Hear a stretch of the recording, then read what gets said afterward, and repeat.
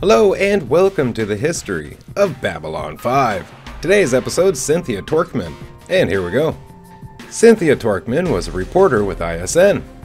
In 2259, Torqueman hosted an edited version of 36 Hours, shot on Babylon 5.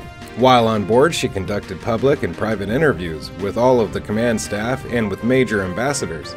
One such interview with Delenn became upsetting when Torqueman asked how humans, particularly those who had lost family members during the Earth Minbari War, would view Delenn's transformation into a human Minbari hybrid.